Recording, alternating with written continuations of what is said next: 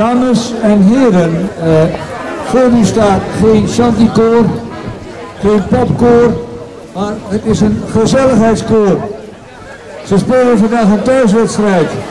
Uh, heb aandacht voor de andere zangoelen. Veel succes!